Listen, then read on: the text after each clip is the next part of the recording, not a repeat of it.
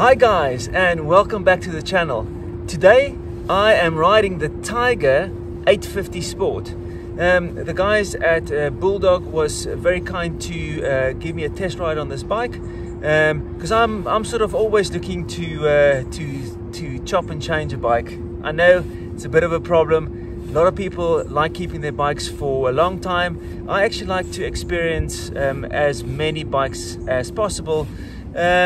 So yes, I am out on the uh, tri uh, the Triumph Tiger 850 Sport. This one is stock standard.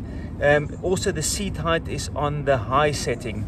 And um, I'm just going to ride it and give you guys some feedback and um, how I find it because I'm going to compare this to my um, uh, Street Triple R. Um, and as you guys know, I love the Street Triple R. You know, it's it's such a smooth bike. It's such a such a nice bike to ride. It sounds beautiful. It it rides beautiful. It is just covers miles with such ease.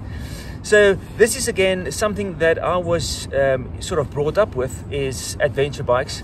Know, I I basically had uh, most of the BMW GS range, and um, I'm going to actually compare this to my F850 GS that I had uh, prior to my Zero, and then I'm also going to just give some uh, feedback on on um, the comparison between um, riding a, a Street Triple R and then this bike. I know it's a total different bike, totally different, but um, just the feel of of the of the bike. So I can give you guys just um, some pros and cons of of of of what I find riding the one compared to the other one. But first, let's have a look around the bike. Okay, so let's have a quick look around the bike. Um, and there, has been so many reviews, so I might miss out some specific points, but I'll uh, link all the information down in the comments below so you guys can check that out. But um, I'm just gonna um, sort of go over the bits. This is the adjustable screen. Um, a lot of people say it's very difficult to adjust, and some people say it's very easy to adjust. For me, um, getting it from the low position to the high position, that's fairly easy. Um, to uh, adjust it um, in the middle settings that can be a little bit tricky. So again something to get used to. Nothing nothing major. It's got the nice uh, running lights. Bulldog triumph. Great service. These guys are awesome. Spoke to the guy um, justin. Justin or jason? Really really good sorted me out quickly. So it's got, it's got the brembo brakes. Again i'm going to compare that to the street triple r's brakes. Down here is the dual radiators and then there's the um, the different firing uh, engine this so uh, but, but yeah three into one exhaust on the side. And I'm a sucker for this red and gray most of most of my uh, clothes are all black red or gray and um, yeah it's nice. So the 850 is it is just a slightly detuned or more tuned road version. Um, the engines are exactly the same between the 850 and the 900 so it's an 888cc engine but again a nice looking engine big old lump. And I like this uh, gray finish they've they've got on the covers. Just looks looks nice. So the rear it's got a, a adjustable. So this is for preload I think. Again if I'm wrong I will correct that. Um, it's the exhaust and even from the rear side you know the the rear um, end of the bike that looks really really good. I'll start it up in a minute but another little point um, the rear subframe you can actually take off so if you do fall or damage it or bend it or whatever, then um, that can be replaced. The same for the for the um, passenger foot hangers. This can also be removed. The tire at the back. This has got an Anakee Adventure on uh, Michelin, and that is a 150 70 R17. Yeah, tubeless tire from the back. That's how it looks like. Very nice. Exhaust. I like this uh, half oval can. Really looks nice. Other thing that I do like got some really nice hand grips here. Again like this. This one does not come with the center stand but you have to maneuver the bike. It's always good to have like solid hand rails and also if you have a pillion on the back it's awesome for them to hold on to. It's nice and wide so even if they sit down it's there's a there's a big gap between the seat and the grab handles and it's nice and round. It's not there's no sharp edges. That is very awesome. You get some luggage for this. According to the guy you can pretty much buy the stock bike and then kit it out with all the bits and bobs. Uh, there's the key for the for the um, seat to take the seat off and I assume what do we have here? Oh that's just the cover.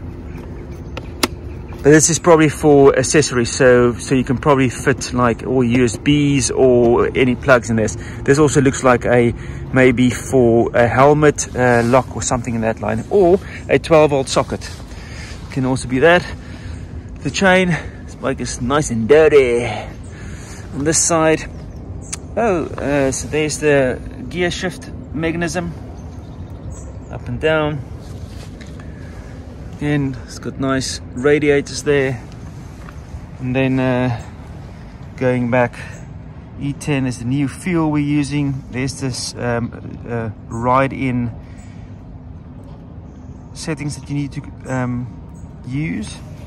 Some people don't, a lot of people do.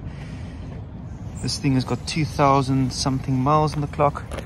Again, there's the there's the mirrors there's the switch gear, the brights, um, and then the horn is here in the front. This is for your uh, rider modes.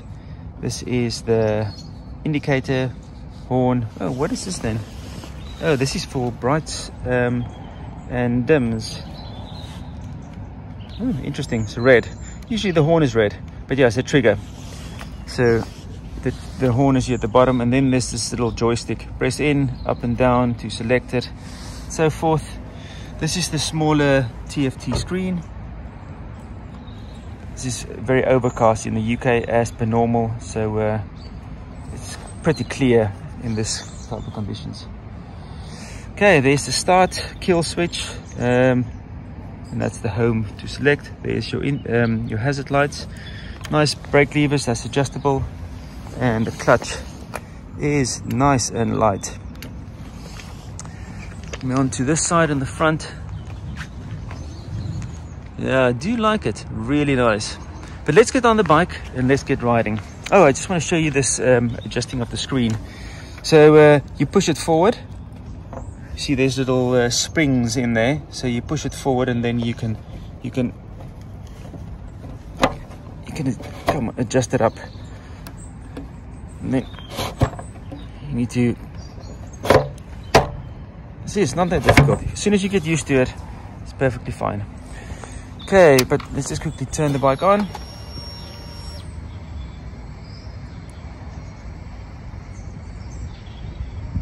Tiger good morning. And there's all your settings you can change this the um, the different layouts of how it shows um, I need to go and find a fuel station while we are running out of fuel here in the UK for some bizarre reason. Well, not bizarre reason. There's no drivers to deliver the fuel. It's not that we don't have fuel. there's no people to deliver the fuel. But yeah, let's uh, stop the waffle and uh, let's get going. Very nice bike. I like the color scheme. It comes in a red and a blue one. But you have to go and check it out yourself because um, from the photos, the grey looks different to me, and the red also looks different. The red looks too bright, but in this one, it really looks just nice. I like it. It's, it's like a dark, dark, uh, dark red. I hope you can see that. Okay, let's get going. Let's start up this uh, Triumph 850 Sport. Let's get going.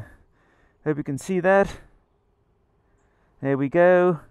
Miles per gallon on a test bike is 55 miles per gallon UK. So that's quite cool. That's really good. And uh, got 85 miles of range left.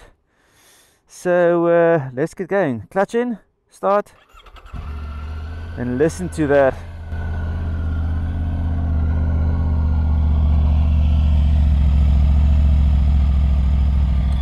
That has got a really nice sound.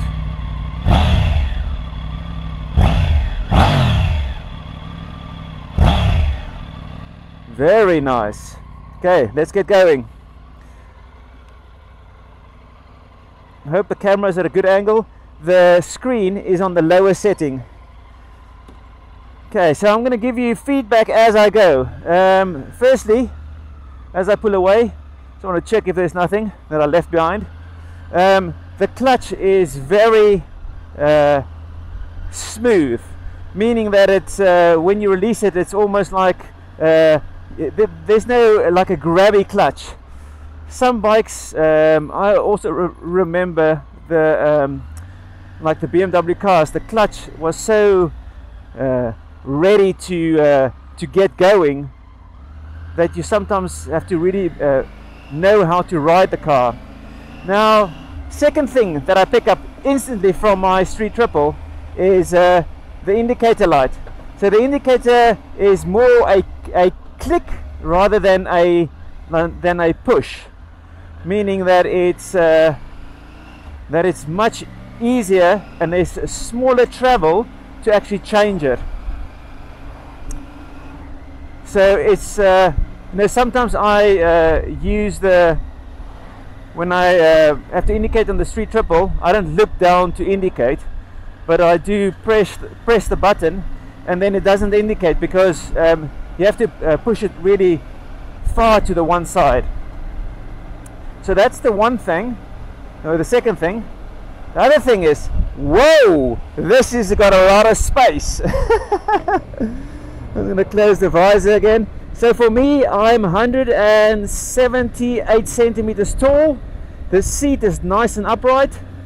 I uh, the the handles are uh, for me very in a relaxed uh, position, meaning that I, I'm sitting comfortably, sitting down, straight back, um, very, very nice. But it's wide, wide bars, and the, the tank looks and feels massive.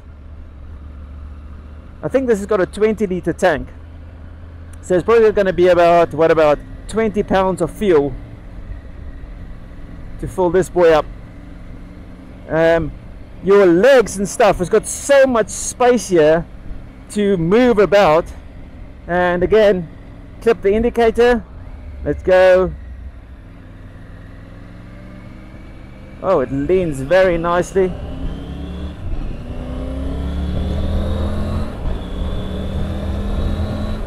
now uh, a lot of people have been complaining about the, um, the little TFT screen that's only a 5 inch compared to the compared to the bigger one. Um, and uh, they can't see the rev counter. Now yes it's not it's not the ideal it's not the clean clearest uh, rev rev counter but man I don't have a problem uh, I've to be honest to be honest I have never really used a rev counter. Um, I only use the rev counter to ride the bike in and then I ride on how it sounds. Now I'm not gonna uh, uh, ring the ring the uh, rev it up to the red line all the time. So you get a feel for feel for how it works. This it does not have a quick shifter. That only comes in the in the other bike. Whoa! How cool is this?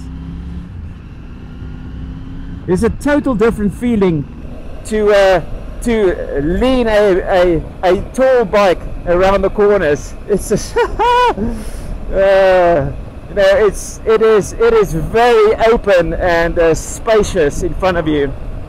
This whole area here it just feels like you can fit an array of gadgets on you.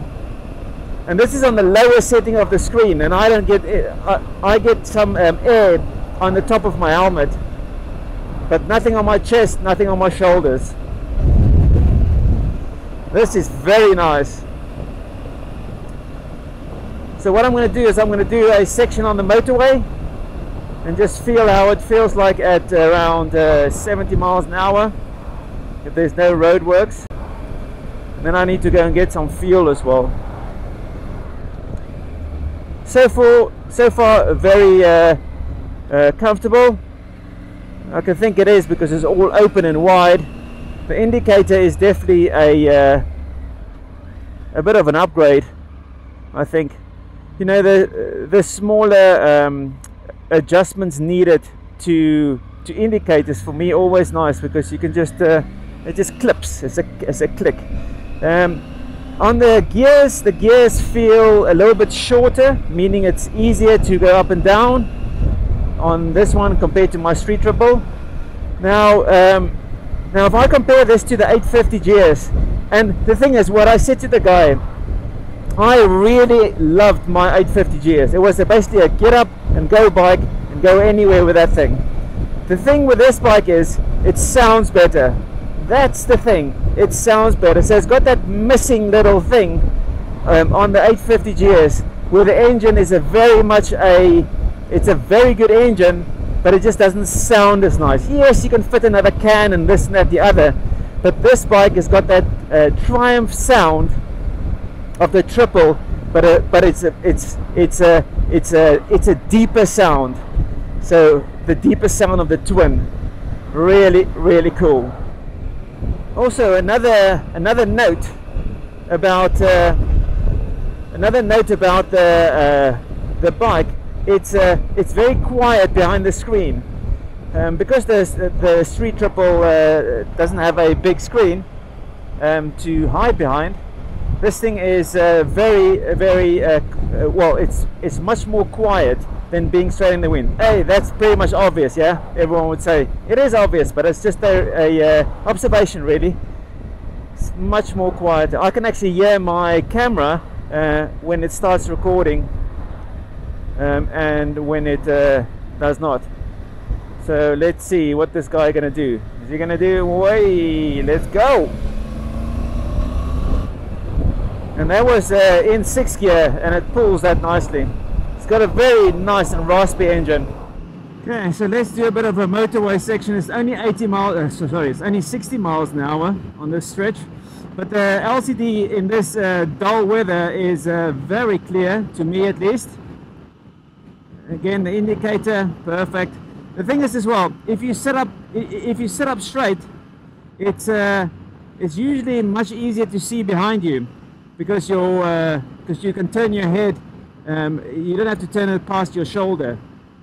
Um, so it doesn't have cruise control, and it doesn't have sus uh, adjustable suspension on the front.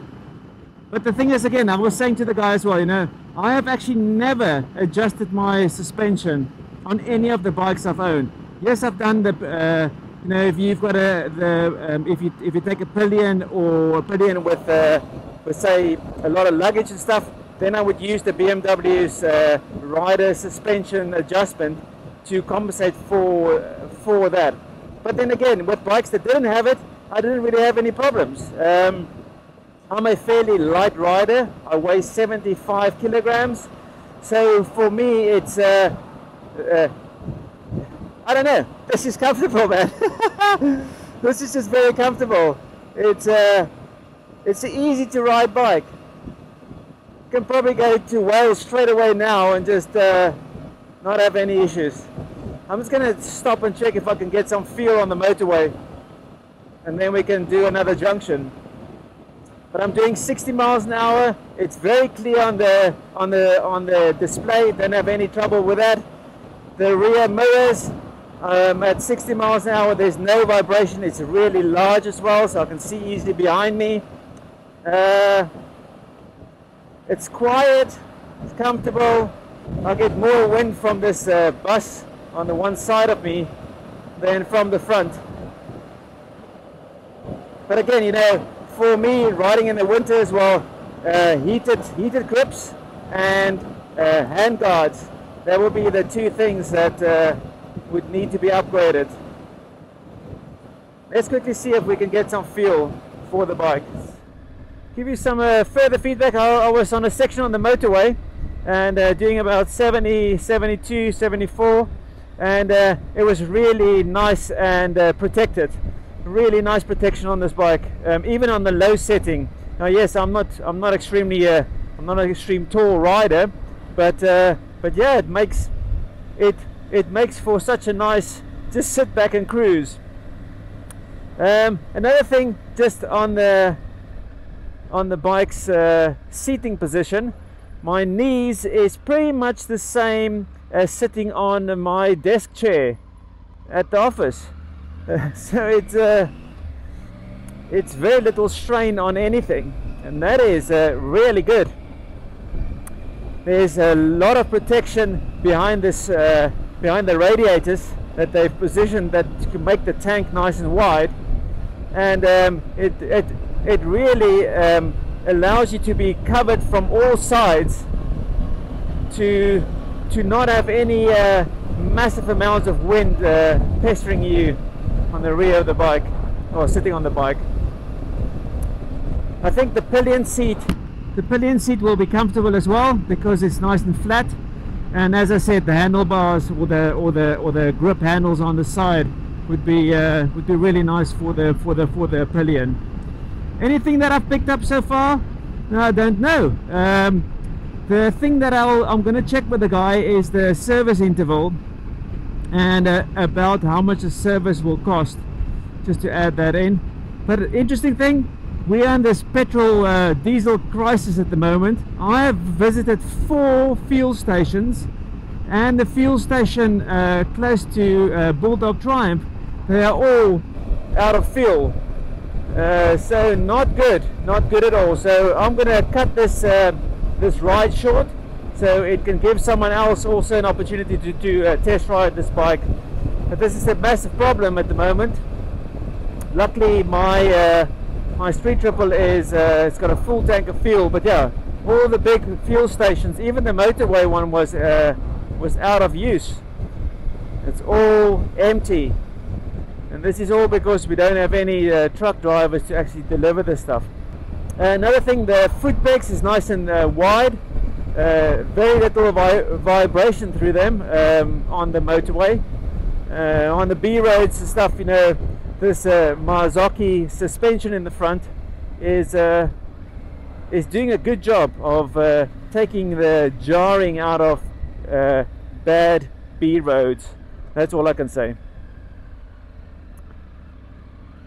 Yeah guys, very impressed with this bike. Yes, it's an 850 or, or a detuned one, but I think I think they've uh, tuned it more for road going and uh, you know most of my riding I do on the road it's just be able to uh, do it in more luxury. But yeah very nice. I hope you guys get a good view. That's the screen. Screen that and uh, it's 19 degrees outside. It's uh, it's about 10:30 in the morning. Yeah so what do, what do I think about this bike? Guys man if you're in the in the market for an adventure bike um, and uh, you uh, you don't want to spend uh, the money on the on the uh, 900 uh, GT range. That's I think about uh, 11,300 starts at. This one comes in at uh, I think about 2,000 pound under under that. Man you must go and try this bike. Um, you pretty much get everything you need in a bike.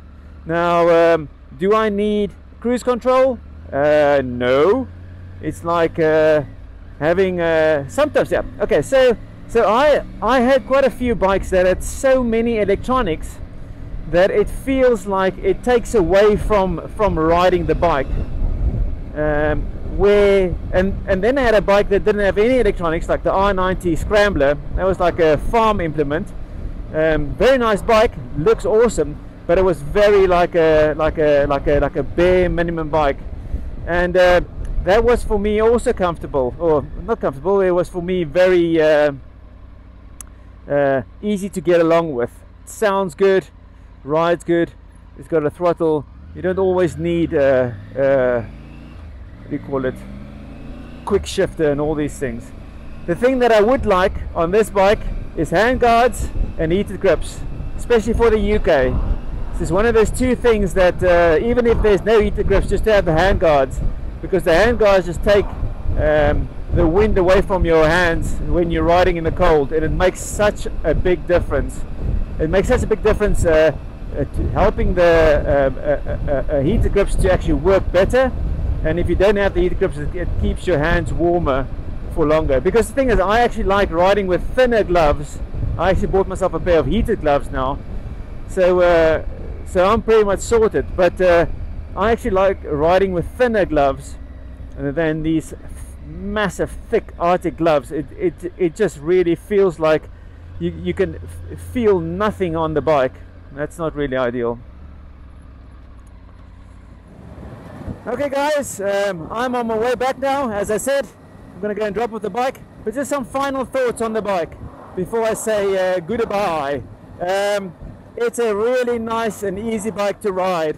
Um, I don't have any uh, uh, uh pressure on my uh, arms or my uh, hands on the handlebar. I've got a really nice wide seating position. I've been on the bike now for just under two hours. And um, yeah it's it's the seating position your back your shoulders it's really a relaxed position. Um, the other thing is I can flat foot the bike on both sides so uh, even on the high position the seat is nice and soft. Um, I don't know how that's going to be on a long long journey but uh, so far it's been really good. I can't really tell on a short ride like like this. Uh, other things that I can quickly think think about. Oh yes you know if you're in the market for a adventure bike you need to go and check this bike out.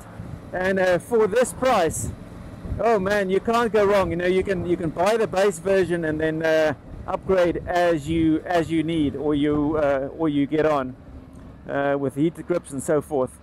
But guys um, do it. Go and try it out. This is such a nice bike. Easy to ride. Um, the center of uh, gravity feels also uh, very low on the bike. So it's very easy to maneuver. It's very light. The throttle not uh, not jerky at all you know in the slower in the slower uh, slower speeds the 30 miles an hour as I'm doing now. I'm in third gear. This is quite a nice speed. But yeah really really really nice bike. I think you can uh, uh get the pillion up and get some uh, luggage on this one and just uh, take it for a, a long long trip. But okay guys I uh, hope you enjoyed this video. If you did please let me know in the comments below and uh, give a big old thumbs up if you want to see more content like this. And please subscribe and click that notification bell so I'm going to see if I can uh, test ride some other bikes as well. But uh, for now I think I would not be able to get out of my PCP deal on the Street Triple to move to this bike. And uh, the Street Triple is a different bike but it's also a very very nice bike. Well guys I hope you enjoyed this video and uh, I hope to see you on the next ride. Thanks for joining thanks for watching and have a great time riding your bikes. Cheers